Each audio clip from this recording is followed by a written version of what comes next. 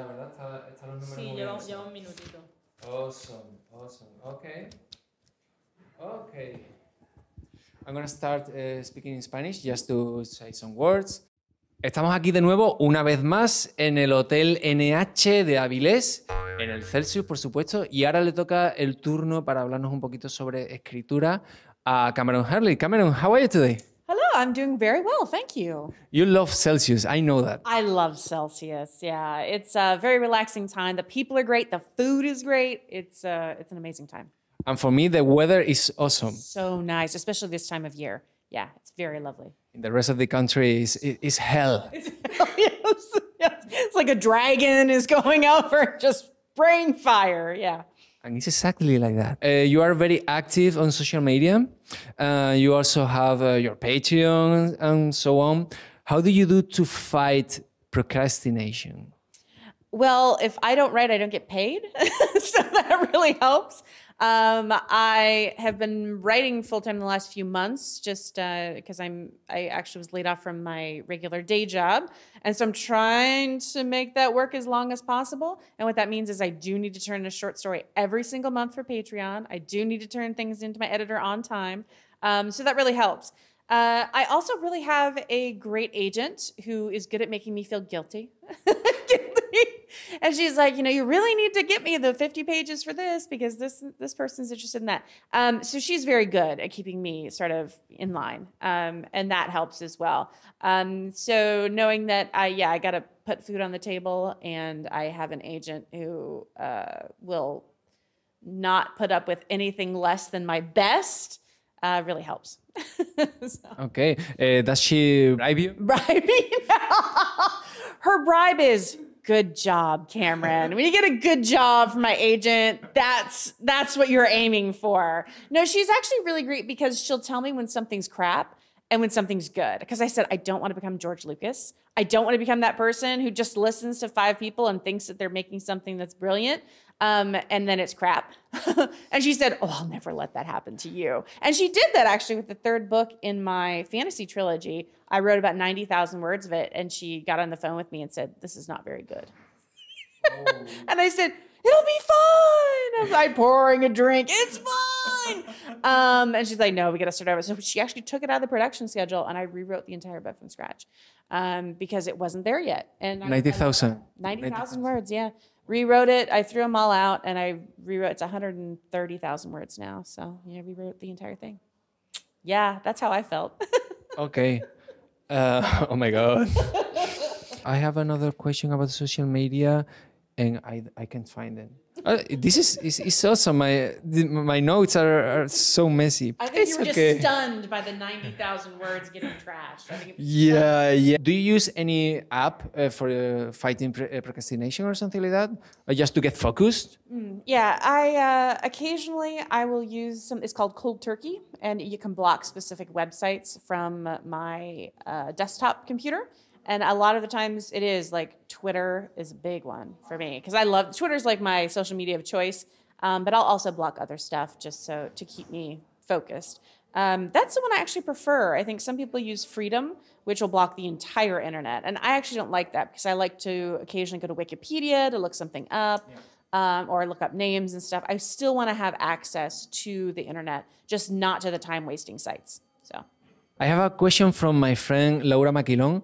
You you know her, but from the last year, last year, yeah, yeah, yeah. and she maybe she interviewed you for Windumanoth. Yes, yes, yes. She wants to know what problems did you have to face with the writing and rewriting of the Broken Heavens, because uh, you you were you were complaining so much with that on Twitter. Uh, well, that was the book. So That was the book. Oh my yeah, god. that was the 90,000 words. So what had happened is when I started this series, back, I just started this series back in 2012. And I started writing, you know, the third book in 2015 and into 2016. And the world around me changed quite a bit in the US uh, after that particular election. Uh, and I changed as a writer. I had written a lot of other things uh, in between those.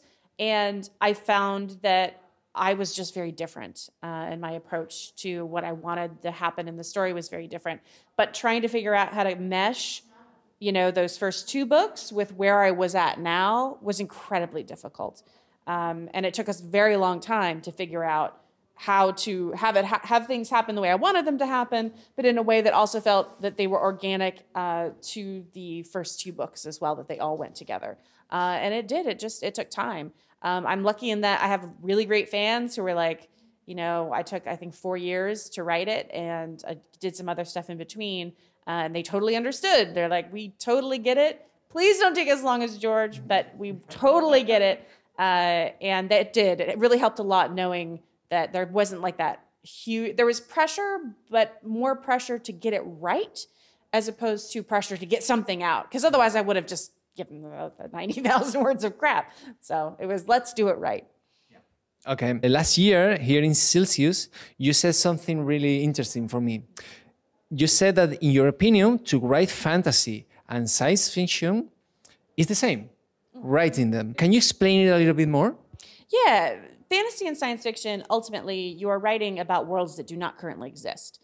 Uh, you're writing about worlds that are not the one that you live in. And uh, while you might say, oh, well, fantasy is completely different, whereas science fiction, it takes off from where we are now and looks ahead, that's not actually true. We can't be completely objective from the time we're writing in. And I think you see that quite a lot. Um, we tend to reflect the things that we're thinking of in the wider political landscape in our writing. I mean, we just explore it. That's just something you do. I mean, you can't get away from that. Um, so to me, they are. They're very much very similar, and the approach to writing them is very similar. I think the nearer future I come, certainly the more research I'll do into um, nearer future technologies and things like that. And then I'll do my fantastic spins on them. Like, okay, let's take it to the next level. And honestly, I have to engage my fantasy brain in order to do that. Um, otherwise, I think that it's very easy to say, well, you know, again, faster than light travel isn't possible. And it's like there's lots of things we thought were not possible in the past, even 10 years ago, that we can do now. Um, so I don't like to limit it. So I like to have that um, fantastic part of my brain engaged, even when writing science fiction. Uh, we're going to talk about uh, the Stars Are Legion. There, you created a world with a biological machines, non created by human hands, hands, not human bodies. Where did you find inspiration for that? You know, I love the idea of organic technology in space because it's like everything's going to break down eventually, right? Everything's going to break down. So if we actually really want to travel these long distances, we I love the idea of that we have something that is organic that just build rebuilds itself, right? Going on and through the stars. Um, and there were other things that uh, explored that. There was there's a show called Lexx uh, which is a science fiction show. Farscape also explores that. Um, I think some later Babylon 5 has some ships that are partially organic with organic skins. And so I kind of took those ideas and I took them to the next level. I went, okay, that's nice. You have parts and pieces that are organic, but I want living, breathing, organic world ship. Uh, and just kind of jumped off from there. Okay, but it was a little bit more complex like that. I mean, it has to be in some level. It has to be something uh, related with the with the characters, mm. because the the characters uh, could be part of this uh, of this uh, of these uh, organic um, spaceships mm-hmm. or worlds. Mm-hmm. I need I need a little bit more. you need more. I love that. Though it is it's um people we always want explanations right? And what i love about writing is a lot of times i write without an explanation. I don't know. Someone asked me they said well what are the big giant things that are stuck in amber in stars of legion? And i'm like i don't know. They're like is it the is it the old is it the old you know captains of the ship? I was like i don't know what it is. Like what's the crystal forest? I don't know. It sounded cool. You um, you did it totally on purpose. For totally you know? Um, and some of that is I like that sense of wonder. That's what I love about some of that golden age science fiction, new weird science fiction. It where you go, you know, there's that feeling of how is that this is something bigger than me, something I just. I, it's like when you look up at the sky and you just think it's so much bigger than you can possibly comprehend. And I like getting that across in fiction. Um, and so yeah, so it's like I, I like the idea of you know the characters kind of giving birth to like parts of the ship and they are this organic you know machine together with it um, but at the same time i wanted to leave a lot unsaid i only wanted there to be enough in there that the characters knew. I didn't want to like throw a bunch of backstory into it. So I have another question. It's related with the Stars of Legion. Do you say that book is a technophile or a technophobe book? Oh, that's a really good question. Um, I really think it depends on how you view it. Um, I think there's a, I, which I, I feel is so much of technology, especially today. It's like everyone loves the idea of AI and hooking stuff into their brains and all that. And then they're like, wait, who owns this data? Can they serve me ads straight to my brain? Who is in charge? And we start to actually think about the ramifications of that. And in this, this, this one actually takes that to the extreme, which is, okay, great, we want to travel to these other places that are light years and light years and light years away. But in order to do that, we have to become part of this symbiotic, you know, relationship with whatever this, you know, organic thing is are we giving up part of ourselves to achieve this greater goal? Is that the only way? But is that the only way we could do that? Um, so I think I think it just depends. Um, I think some people would be more than willing to give up that autonomy um, to go and see the stars. You know, Elon Musk is like, "Oh, I will totally die on Mars." I don't think he would do that. But notice he hasn't gone up on a lot of these uh, test flights. But anyway, um, so I I think it it just depends on on your viewpoint and what you feel is most important. Yeah. Okay. So there is no answer for that. There's no answer. no, sorry. Yeah. A lot of Kameron Hurley is, I don't know.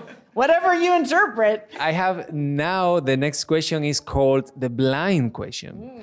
Uh, uh, that means that the the last uh, the last author I interviewed mm-hmm. just made a question. So are you ready? Okay, I'm ready. The question comes from some guy called Brandon Sanderson. uh, uh, we were talking about uh, the difficulty of the beginning of the of the books, but he said, "No, no, no, that's not the difficult. The difficult is the right at the middle, in the middle of the of the book. What do you do with the with the middle of the book? With everything is uh, messy, uh, everything gets so complicated, um, everything depends on some details." What I found is when I get stuck in the middle, I have to make sure I know exactly what the end is so I know where I'm going.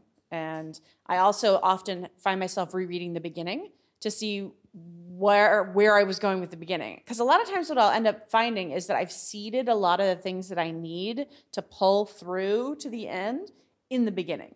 Um, and what happens in the middle is that all that all my focus that I had at the beginning starts to unravel. So if I go back to the beginning and I get that focus again, I can start going, no, this is not important. This is not important. What was I? What was most important to me beginning that I need to thread through to get to the end?